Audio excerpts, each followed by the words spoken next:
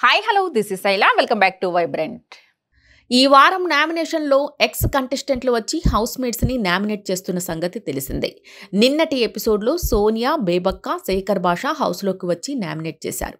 ఇక లేటెస్ట్ ఎపిసోడ్లో ఆదిత్య ఓం హౌస్లోకి ఎంట్రీ ఇచ్చి తన నామినేషన్ చేశాడు. యష్మి ప్రేరణను నామినేట్ చేస్తూ ఆదిత్య చుక్కలు చూపించాడు. ఆ దెబ్బకి ప్రేరణ అయితే నామినేషన్స్ తర్వాత ఏడుపు అందుకుంది. యష్మి అయితే తప్పు ఒప్పుకుంది. బిగ్ బాస్ టుడే ఎపిసోడ్లో ఆదిత్య ఓం ఎంట్రీ ఇవ్వగానే అందరూ వెళ్ళి హక్ చేసుకుని పలకరించారు. ఆదిత్య మాత్రం కర్మ ఈజ్ బ్యాక్ అంటూ డైలాగ్ కొట్టాడు. ఇక విష్ణుప్రియ అయితే ఆదిత్య కాళ్ళు మొక్కి ఆశీర్వాదం కూడా తీసుకుంది. ఇవన్నీ చూసి మీరు నన్ను ప్లీజ్ చేయడానికి ట్రై చేస్తున్నారు అంటూ డైలాగ్ కొట్టాడు ఆదిత్య. వెంటనే తన నామినేషన్ గురించి చెప్పాడు ఆదిత్య. నా ఫస్ట్ నామినేషన్ యష్మి అని ఆదిత్య అనగానే నాకు తెలుసు అంటూ యష్మి లేచింది.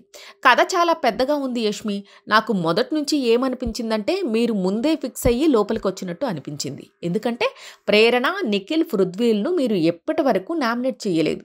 వేరే వాళ్ళని టార్గెట్ చేస్తున్నారు. వాళ్ళు పెద్ద తప్పులు చేసినప్పుడు కూడా మీరు వదిలేస్తున్నారు. పక్షపాతంగా ఉంటున్నారు. ఫేవరెటిజం చూపిస్తున్నారు. న్యూట్రల్గా ఉన్నట్లు నటిస్తున్నారు. ఇది పన్నెండో వారం అండి. ఇంకెన్ని వారాలు చేస్తారు అంటూ ఆదిత్య చెప్పాడు. ప్రేరణ నిఖిల్ పృథ్వీల్ను నామినేట్ చేస్తా అంటారు. కానీ ఎందుకు చేయట్లేదు అంటూ ఆదిత్య క్వశ్చన్ చేశాడు. దీనికి నేను గొడవ చేసి ట్రిగ్గర్ చేసి సార్ట్ అవుట్ చేసిన తరువాత మళ్ళీ నామినేషన్కి తీసుకురాను. అందుకే వాళ్ళను చెయ్యలేదు. అలానే బయట నుంచి అలా ఎందుకు అనుకోని వస్తా? గ్రూప్ గేమ్ ఆడితే నా గేమ్ స్పాయిల్ అవుతుందని నాకు క్లారిటీ ఉంది అంటూ యష్మి అంది. దీనికి మీ నాన్న మీకు ఏం సలహా ఇచ్చారు? ఇండివిజువల్గా ఆడండి. గ్రూప్ గేమ్ ఆడొద్దని చెప్పారు కదా అంటూ ఆదిత్య గుర్తు చేశాడు. దీంతో ఇది నా గేమ్. అయినా నేను నిఖిల్ వాళ్ళతో కూడా గొడవ పడ్డాను. అది ఫేక్ అంటారా?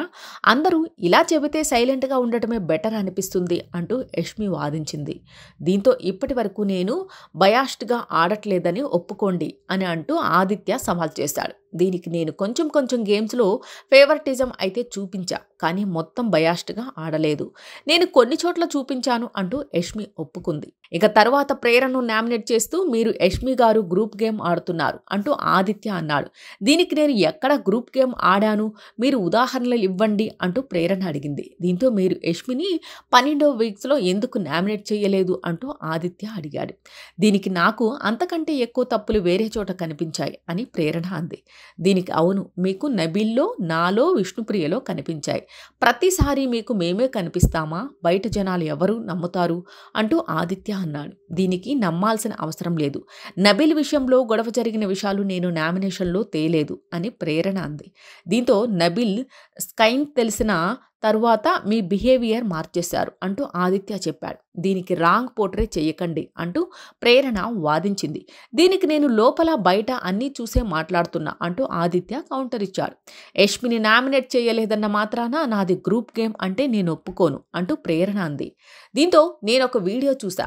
మీరు నబీల్ని ఇమ్మెచ్యూర్ అన్నారు. అది అతనికే చెప్పచ్చు కదా అందరికీ ఎందుకు చెప్పాలి? అంటే దాన్ని బట్టి వేరే వాళ్ళను మ్యానిపులేట్ చేయాలనే కదా. ఇంకా గౌతమ్ని మీరు కామ్చోర్ అన్నారు పని దొంగ అని ఎందుకన్నారు? మీకు వాళ్ళని ట్రిగ్గర్ చేయాలనే స్ట్రాటజీ ఉండొచ్చు కానీ అది మీ గేమ్కి మంచిది కాదు అంటూ ఆదిత్య సలహా ఇచ్చాడు.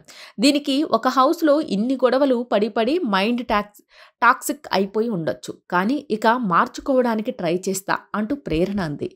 ఇక ఆదిత్య వెళ్ళిపోయిన తర్వాత ప్రేరణ లోపలికి వెళ్ళి ఒంటరిగా కూర్చొని బాధపడింది. నిఖిల్ అవినాష్ ఓదార్చడానికి వస్తే నన్ను కాసేపు వదిలేయండి అంటూ కన్నీళ్ళు పెట్టుకుంది. ఇలాంటి లేటెస్ట్ అప్డేట్స్ కోసం చూస్తూనే ఉండండి వైబ్రెంట్